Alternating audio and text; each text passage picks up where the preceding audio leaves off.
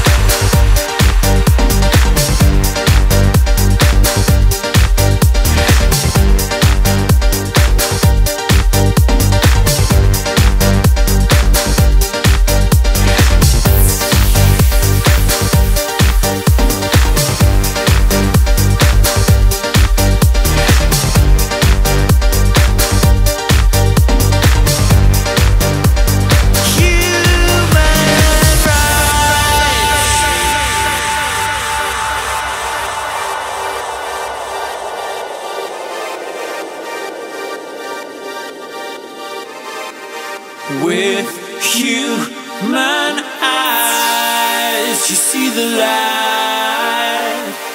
Your human rights can feel tonight. With human eyes, you see the light. Your human